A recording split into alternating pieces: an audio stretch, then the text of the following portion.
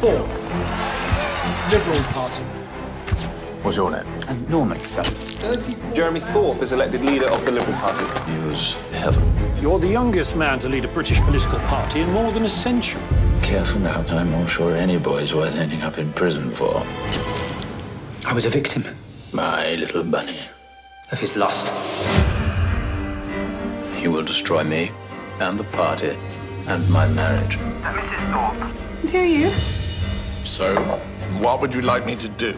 Oh! Jeremy Thorpe is a highly respected man. It is alleged that Thorpe and Mr. Scott began a homosexual affair. That's me. Peter Taylor accused On the telly. I can't believe they can say this on the BBC. This is the story of a liar meeting a fantasist. And I'm not sure which one's which. It's insane. Bonkers, isn't it? It's bloody nuts. I'm arresting you for conspiracy to murder. He's perfected the art of hiding in plain sight. Jeremy Thorpe did this! It was Jeremy Thorpe! There is only one way for us to survive.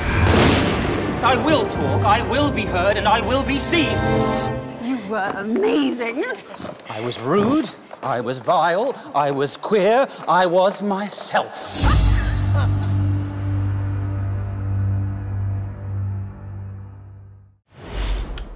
HBO Portugal. Começa a ver agora.